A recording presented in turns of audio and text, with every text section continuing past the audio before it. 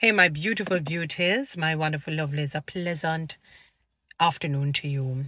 This is something that I want people with a pure, pure heart to understand that no matter how good you are as a human being, no matter how, you know, that, and it's not about perfection because we've all sinned and fallen short of God's glory, We've all made mistakes, we have hurt people, done wrong, you know, all of that but generally you intend your intent is to be good and you try every day to be a better human being you know allowing the holy spirit to make you better. Somebody's going to think that you're not a good person.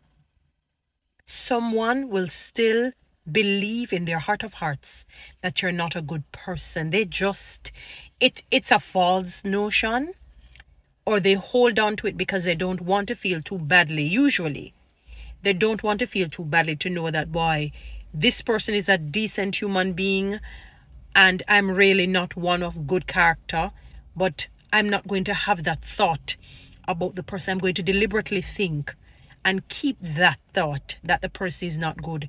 You see, even in even if if you even make one mistake towards that individual, oh my God, they're going to hold on to it because it's ammunition for them to feel comfortable about thinking badly about you deep in their hearts, you know. The truth will be hitting them, but they will fight it.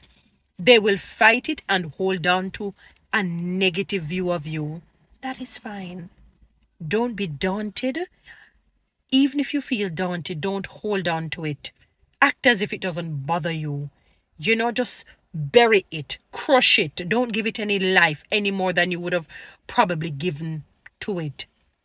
Look at Jesus, the purest human being, without guile, without fault, without blemish, flawless, completely.